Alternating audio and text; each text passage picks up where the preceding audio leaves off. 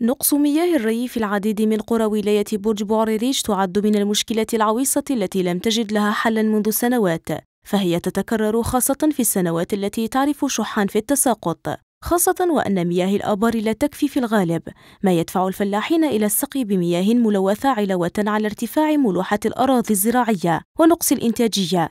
الساق كما جا السلال السد هذا بدات تشوفيه.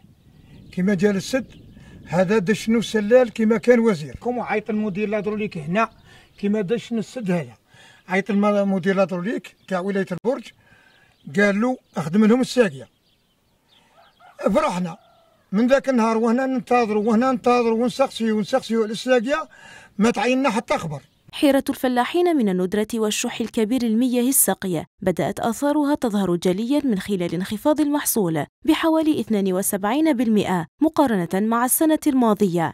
إحنا من اللي بدينا نخدموا في الحبوب في الشتلة ناجحين الحمد لله عملوا ولطحنا 42 قنطار في القطار والسنة هاك تشوف بعينك هاي. أول قمح في, في الولاية. يعني باش تحوس نحينا كما عمل أول ما كانش. السنة واش نحينا؟ نحينا 100 و77 قنطار ولا 79 قنطار. هكذا هذاك ما كان.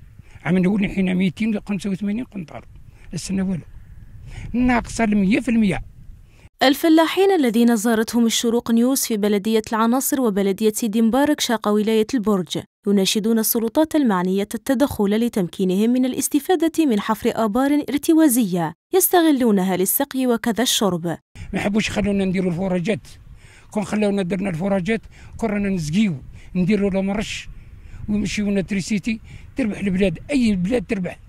لهم تروح تاع عراقيل وراك عارف.